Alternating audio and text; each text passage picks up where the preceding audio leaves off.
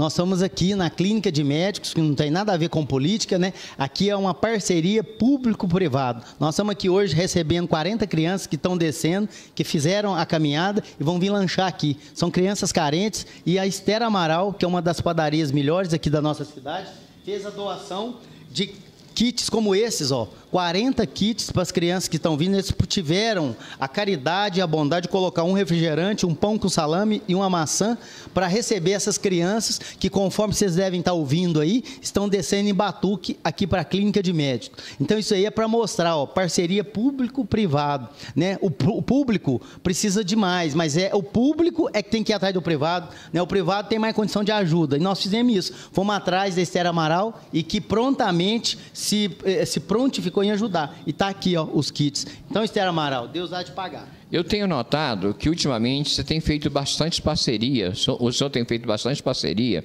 com a iniciativa privada. Várias oportunidades, tem visto algum vídeo, alguns vídeos nesse sentido. Será que está faltando um pouco disso também para o poder público? Tá sim. Até não é o tema de hoje, mas eu gostaria de aproveitar esse tema.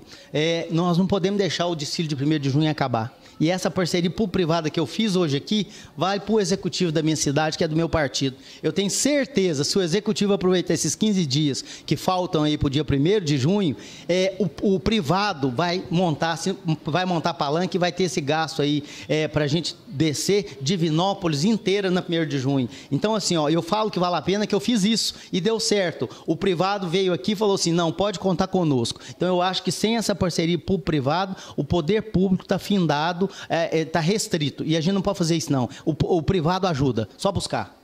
Finalizando, é, falando agora efetivamente do movimento, todos contra a pedofilia. É, qual a sua avaliação? O que, que o senhor fala a respeito dessa questão, desse tema tão importante para o país? Isso é muito importante para você que está me ouvindo. Agora, como médico, é, no, cuidado com o celular dos filhos de vocês. Né? As crianças, elas não têm esse poder de administrar.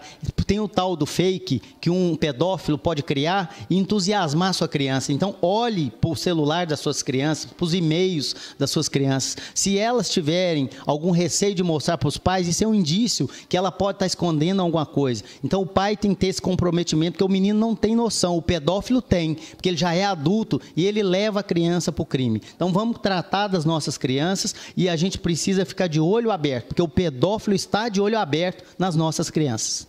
Obrigado, doutor Delano.